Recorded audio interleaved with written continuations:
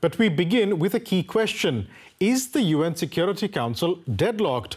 Russia looks set to veto a US-led resolution calling for humanitarian pauses, Moscow wanting nothing short of a full ceasefire, and Israel's ambassador to the UN wants UN chief Antonio Guterres to resign. This following Guterres' comments where he condemned the terror attacks by Hamas, but also urged an end to what he described as the collective punishment of the Palestinian people. There were heated exchanges at the UN Security Council meeting in New York. As the war in Gaza rages on, UN Secretary General Antonio Guterres warned that the situation was growing more dire by the hour. He repeated his condemnation of the Hamas terror attacks and reiterated his call for a humanitarian ceasefire. It is important to also recognize the attacks by Hamas did not happen in a vacuum. The Palestinian people have been subjected to 56 years of suffocating occupation. But the grievances of the Palestinian people cannot justify the appalling attacks by Hamas, and those appalling attacks cannot justify the collective punishment of the Palestinian people. The relentless bombardment of Gaza by Israeli forces, the level of civilian casualties, and the wholesale destruction of neighborhoods continue to mount and are deeply alarming. Israeli Foreign Minister Eli Cohen responded angrily to the comments. Mr. Secretary General, in what world do you live? Definitely, this is not our world. He later cancelled his meeting with Guterres. Israel's ambassador to the UN went a step further. The UN is failing, and you, Mr. Secretary General, have lost all morality and impartiality. I think that the Secretary General must resign. Outside UNHQ, relatives of some of the hostages held a rally. They laid pairs of shoes to show solidarity with the hostages. Later, US Secretary of State Antony Blinken asked the Security Council to back a new US led resolution which called for humanitarian pauses but not a ceasefire. However, Russia said it would veto anything short of a full ceasefire. So, with the UN now in deadlock, a diplomatic solution to the crisis seems a very distant prospect. German Foreign Minister Annalena Baerbock addressed the UN Security Council as well, saying that Israel's security is non negotiable, but stressing that the fight should be against Hamas and not civilians. The fight is against Hamas and not against civilians. That, it why, that is why it's crucial for us that this fight must be carried out in line with humanitarian law, with the greatest possible consideration for civilians in Gaza. That is why my country, Germany, is increasing our humanitarian aid to Gaza by 50 million euro, of which 19 million go to UNRWA. That is why we need humanitarian windows so that those who are suffering can get help in Gaza. That call for humanitarian windows and an increase in aid coming even as Berlin says its place is by the side of Israel. We asked our political correspondent Emily Gordine how much of a challenge that diplomatic balancing act is for Germany. Well, I mean, it's been doing that from the very beginning. I mean, Baerbock has repeatedly called on um, the and, has emphasized the importance of humanitarian aid as well as the protection of civilians. Um, but of course, she says that it takes two to tango when it comes to that. Um, humanitarian aid can't be delivered if Hamas continues to attack Israel from Gaza, um, because ultimately Israel does have the, the right to defend itself. Um, and when it comes to this humanitarian aspect, I think that's played an important role from the very beginning. Um, as Western countries showed their solidarity with Israel in light of the heinous uh, terrorist attacks by Hamas, they've also said that, um, you know, Israel has to respond within the limits of international law. So it wasn't a blank check that was handed to Israel when it comes to that. And I mean, US President Joe Biden has also continuously advocated for um, restraint, drawing on his own experience after the 9 11 attacks. Um, and this line, this, this line of, you know, emphasizing also restraint is followed by Germany. It is, as you say, a very fine line, but um, that's, um, that's at the moment um, what Germany is advocating um, protecting Israel's right to defend itself while also highlighting that this is, of course, um, affecting hundreds, millions um, of civilians in Gaza. Those civilians have been seeking shelter as the Gaza Strip comes under heavy bombardment from Israeli forces targeting Hamas. It's led to many families having to make some heartbreaking decisions to ensure survival. Ali Daba has bought his family members string bracelets, one for each wrist. The bracelets are a way for Daba to recognize his children if the very worst happens to them. Grim reminders of Gaza's ongoing humanitarian catastrophe. Since the militant group Hamas's terror attacks on Israel this month, Gaza has been under siege. Airstrikes have demolished whole neighborhoods. Ali Daba and his wife decided the best thing to do was to split the family. He fled with some of his children to Khan Yunis in the southern Gaza Strip, while his wife remained in Gaza City further north with the rest. I told my wife to keep two of our boys and two of our girls with her in Gaza, and we came here to Khan Yunis. If we die, then at least they'll be alive. We put bracelets to mark each other just in case something happens. I've seen bodies ripped apart. You can't tell one from the other. If something happens and they're in pieces, this way I'll recognize them from the bracelets. Gaza is home to 2.3 million Palestinians. More than 1.4 million residents have fled their homes for temporary shelters, most of them heading south. When we were at Tal al Hawa, we were terrified. It was a horrible sight. A mother and her daughters were inside a bathroom.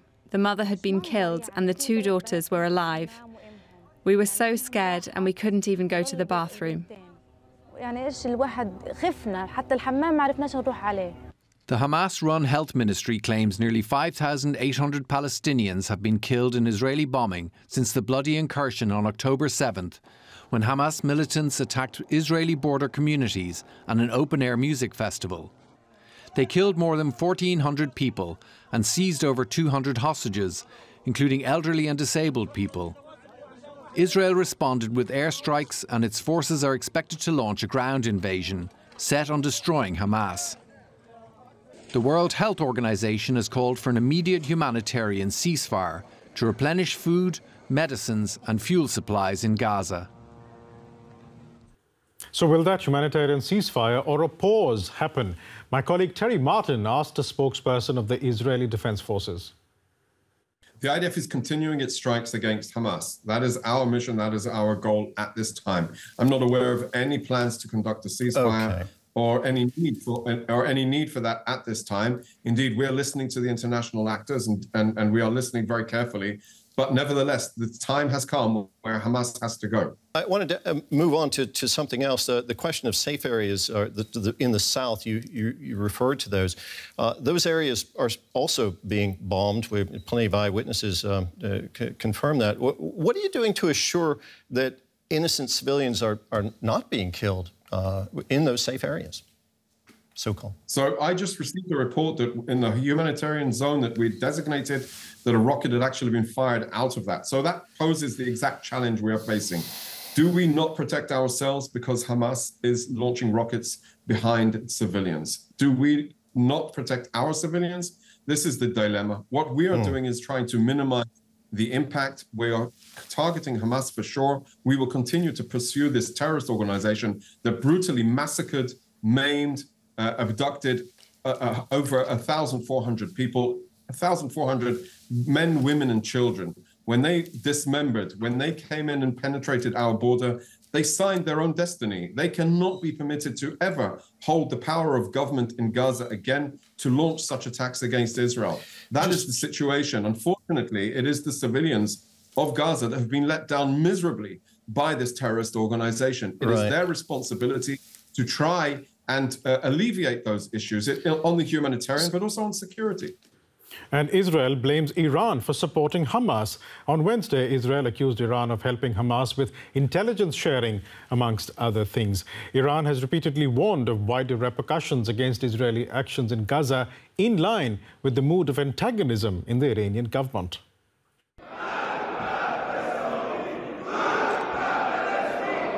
Iran's reaction to Hamas's deadly attack on Israel on October 7th. Lawmakers celebrate with chants, and on Tehran's streets, the Islamic Republic's supporters are singing the same tune. We Iranians should help the Palestinians a lot. If necessary, we should fight alongside them. It wasn't always this way. After the establishment of the State of Israel in May 1948, Iran maintained close ties, de facto recognizing the country. Everything changed when in 1979 the Tehran monarchy was toppled by the theocratic government of Ayatollah Khomeini as part of the Islamic Revolution. Viewing Israel as a threat to Islam, Iran's new government cut all diplomatic and commercial ties with Israel. It declared liberation of the Palestinian territories one of its main priorities, as well as the fight against Western influence across the Middle East. Part of this fight is Iran's involvement in creating Hezbollah, a Shia political party and militant organization in Lebanon in the early 1980s. The group continues to be closely aligned with the Iranian regime. It fired rockets at Israel hours after the recent Hamas terror attack. Israel and the US have repeatedly claimed that Iran's support for Palestinians also led to the foundation of Hamas. While Iran denies directly assisting Hamas in its recent attacks, it has repeatedly warned Israel of consequences if the retaliatory strikes on Gaza continue. If this crime continues, Muslims and resistance forces will be impatient, and nobody will be able to stop them. The West must know this. They shouldn't expect some people to stop those groups from doing this or that. No one can stop them when they lose their patience. Israel's Prime Minister Benjamin Netanyahu has issued his own warning. I have a message to Iran and Hezbollah. Don't test us on the northern border. Don't get back to the mistakes that you did once, because today the price that you will pay will be much more expensive. The potential for nuclear war raises the stakes even higher. While Israel neither confirms nor denies having nuclear weapons, Iran says that its own nuclear program is peaceful and has blamed Israel for attacking its nuclear sites. Both countries have managed to avoid an all-out war for decades, but the recent escalation in the Middle East raises fears that this status quo could change. All right, let's get more context on Iran's role in the current situation in the region with Ali Fathollah-Nejad. He's director of the think tank, the Center for Middle East and Global Order, based in Berlin. Mr. Fathollah-Nejad, the Israeli military has just today accused Iran of helping Hamas with intelligence, intelligence sharing and ordering attacks from Tehran backed militias in the region. Do you think this is setting the stage for a potential direct military confrontation between Iran and Israel? I think, I mean, first of all, it is clear that uh, not only the Islamic Republic of Iran, but also uh, Russia, by the way, are the main profiteers of this war between Hamas and Israel. And of course, Hamas has been, uh, you know, supported by Iran um, financially, logistically, in terms of military training. Um, and although uh, Iran is very much uh, interested in, uh, in abusing the situation, at the same time, there are concerns about a great war um, happening uh, in its wake. Uh, that is between one between Iran and Israel, and probably also the United States. And in such a scenario, this would pose a tremendous challenge to regime security. So, in other words, Tehran is interested in a conflict, but not necessarily in a great war. So, Iran and Israel heading for war isn't a likely possibility in the near term? Well, uh, it is uh, definitely uh, hard to predict. Um, you know, it depends on the dynamics that are going to be unfolding. But what is important to understand is that, uh, as in the past, the red line for the Islamic Republic is a great war, is a um, military confrontation with Israel, uh, mm-hmm. which is militarily much superior. And of course, the Islamic Republic also, um, you know, uh, calculates that uh, not only would it have to face Israel, but also uh, the United States. So uh, there is a dilemma here for Tehran. While one is, you know, very much supportive of Hamas's operation, um, and um, it is, you know, one is also trying to uh, push away or to uh, deter Israel from uh, engaging in a military operation in Gaza that could endanger the operational capability of Hamas. At the same time, one is very much concerned about the Great War, uh, which is not in the interest of Iran because of the tremendous peril it would pose to regime security and stability. Does that mean that in the near term, therefore, we will see Iran continue to support its proxies in the region, not just Hamas, talking about Hezbollah, but also the proxies in Yemen, for example, from where missiles were fired, apparently towards Israel, missiles that a U.S. warship shot down. So should one be expecting more of this underground support for Iranian proxies in the region?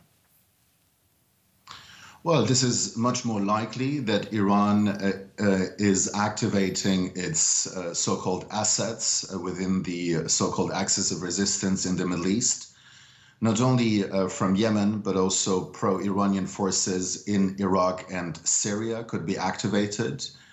When it comes to the, you know, the massive involvement or the potential massive involvement of Hezbollah, which is by far um, you know, the most uh, military capable uh, asset of Iran in the region. This is also not certain because of the, uh, you know, situation in which Lebanon finds itself in. Uh, because Lebanon is in shambles, uh, it is mm-hmm. facing a, an economic and political collapse, and cannot afford another war uh, with Lebanon. sorry, with Israel. So, um, for, you know, so this is also challenging when it comes to um, an, involvement, an active involvement, much more that we've seen so far from Hezbollah's side.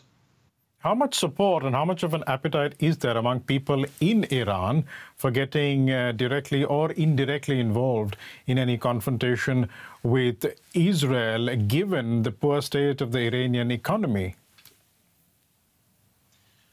Absolutely. It's not only the poor state of the Iranian economy, but also it's um, it, there's a lot of uh, you know frustration uh, from Iranian society vis-a-vis the regime. We've seen revolutionary protests in Iran uh, a year ago.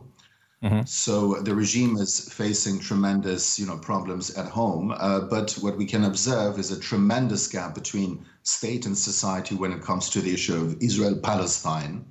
Mm-hmm. Uh, because of you know, decades-long propaganda uh, from the Islamic Republic uh, about Israel and Palestine, uh, we can observe a, a, societal backlash, a societal reaction uh, that is very much uh, identifying this kind of power play executed by the regime to abuse the Palestinian cause right. and to advance its own regime interests. So there is a, a strong societal opposition to the kind of narratives that Tehran is promoting.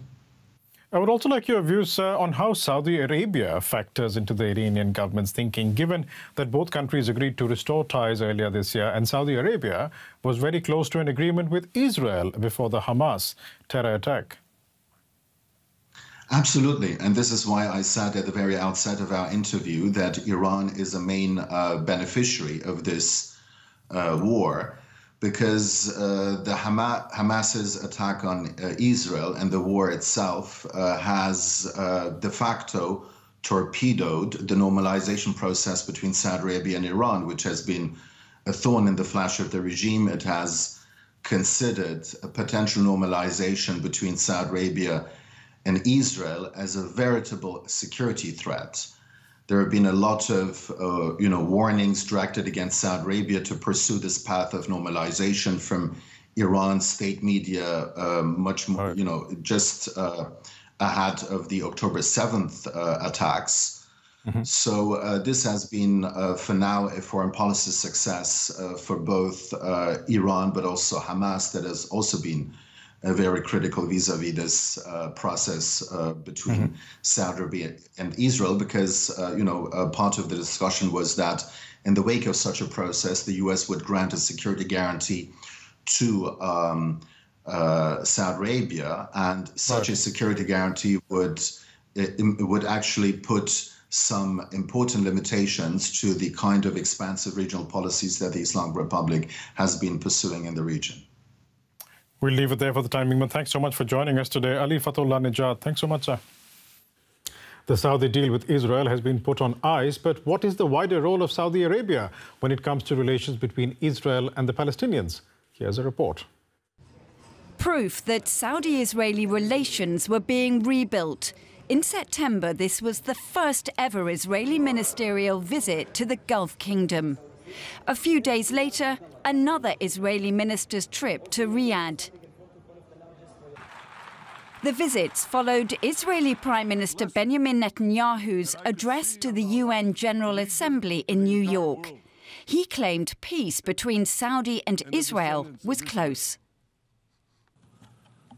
But I believe that we are at the cusp of an even more dramatic breakthrough an historic peace between Israel and Saudi Arabia. Saudi, though, knew that forging closer ties with Israel risked angering Palestinians. At the end of September, it sent its first delegation in three decades to the occupied West Bank. Its aim was to reassure Palestinians that the oil rich kingdom still supported their fight for statehood. But on October the 7th, everything changed. The deadly terror attacks on Israeli soil by militant Islamist group Hamas have shaken the Middle East and the world. In retaliation, Israel has declared war on Hamas, which governs the Gaza Strip. Within days, reports emerged that Saudi Arabia was putting US backed plans to normalize ties with Israel on hold. The Saudi government even held talks with its and Israel's arch enemy, Iran, one of the strongest supporters of Hamas. Analysts believe the Saudi crown prince is trying to de escalate tensions in an increasingly volatile region while publicly supporting the Palestinians. It's painful as we gather here to see the escalating violence that Gaza is witnessing today, the price of which innocent civilians are paying.